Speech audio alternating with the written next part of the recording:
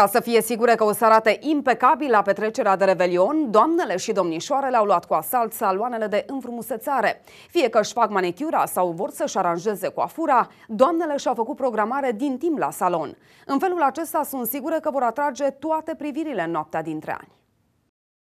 Cum aranjăm părul? Aș vrea niște valuri, dar legere, cât se poate de legere.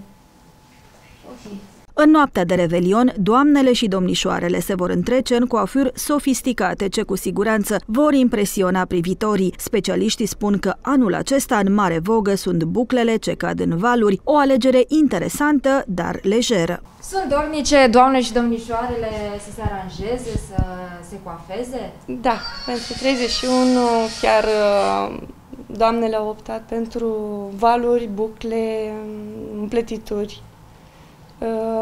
Să se sorteze cu rochia. Da. Domnișoarele cam ce gusturi au ele? Ce, pentru ce optează? Mai mult pentru valuri, bucle, pretiturile mai puțin, dar cele mai mult uh, folosesc valorile. Pentru că sunt atente până la ultimul detaliu, doamnele preferă să piardă câteva ore bune la salon și pentru a avea o manicură în ton cu rochia pe care o vor purta în noaptea dintre ani. Astăzi o să facem unghiuțele roșii. Eu da. îți arăt un model și tu îmi spui cam ce ți-ar plăcea ție. Da. Așa. Dar cu roșu. Dar cu roșu. Da. Durează să faceți o astfel de, de manicură?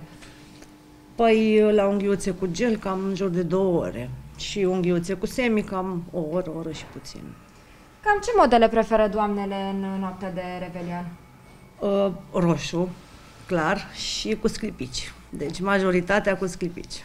S-au programat ele din timp pentru da, da. Revelion? Da, cu mult înainte. Mai aveți și acum? Mai avem și acum. Câteva mai sunt totuși mai. Mai avem timp până noaptea dintre ani. Doamnele au optat pentru serviciile de manicură, pedicură, păr și make-up. Suntem pregătite să le așteptăm cu mare drag.